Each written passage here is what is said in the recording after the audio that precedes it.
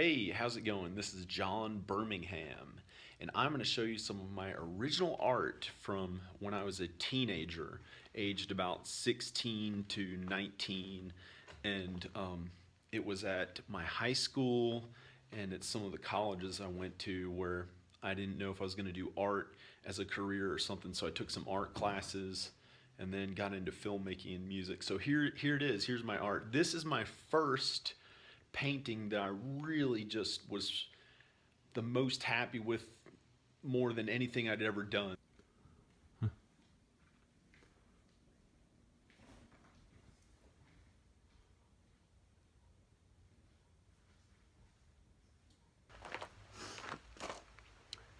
Al's back there and it looks a little funny because um, uh, I'm about to take my shirt off and it's weird because he's like right there.